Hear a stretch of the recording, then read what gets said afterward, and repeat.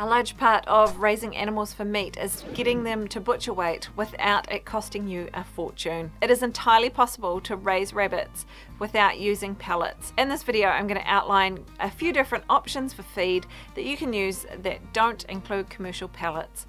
Pellets do have their place. They are perfectly formulated for raising rabbits. They come with a set amount of protein and set number of minerals. They are, however, not the cheapest option and it can be really hard to find organic ones. And at the end of this video, I'll let you know two different feed options that we've used with great success.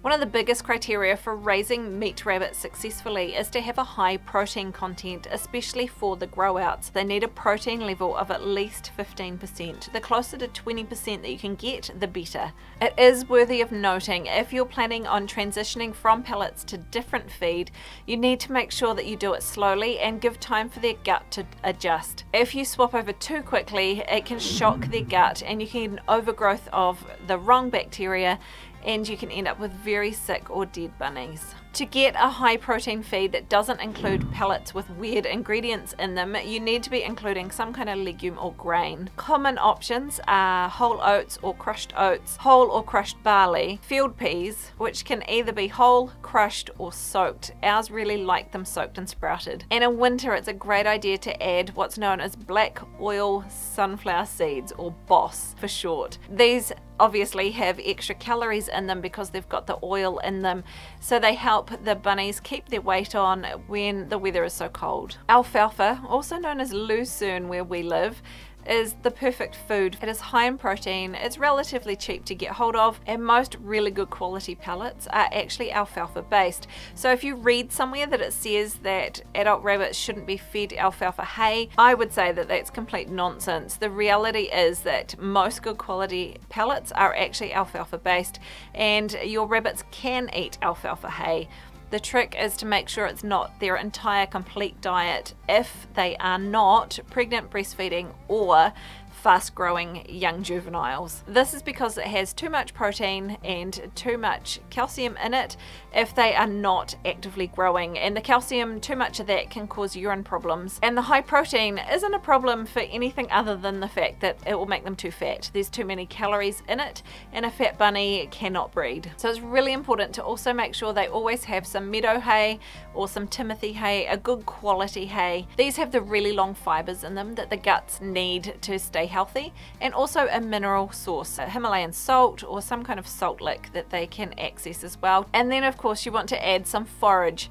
Pretty much any greens out of your garden are perfectly safe for a rabbit. If you would eat them yourself, then they're usually safe for a bunny. So don't give them things like tomato greens or potato greens or any other kind of nightshade green or rhubarb leaves. You wouldn't eat them yourself, don't feed them to the bunny. Carrot tops are perfectly fine. You want to limit those sweeter, starchier foods, which includes carrots themselves, apples, strawberries, and the fruit of tomatoes. They're a great little treat but not something they should have too often. Of course, you can also forage lots of things out of your backyard, lots of grass, most weeds that you could feed chickens can also be fed to rabbits.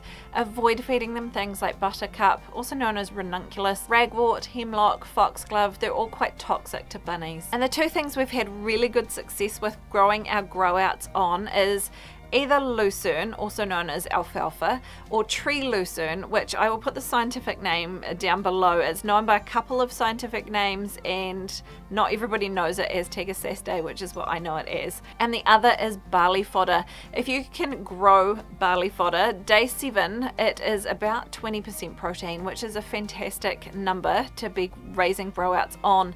And you can feed it with the leaf and the grain and the roots all at once.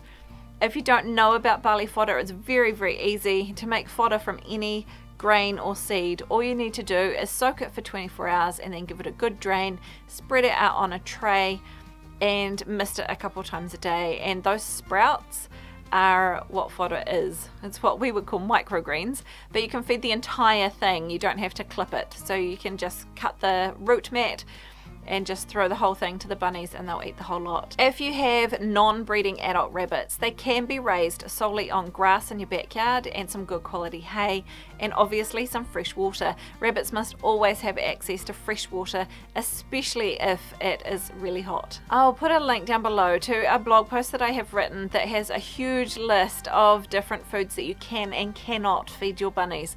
So it's worth checking on that list if you're not sure about a particular food. And if you're interested in a more natural way of raising bunnies, you might find this video quite interesting about whether or not you should cage raise or maybe look at raising them in a colony.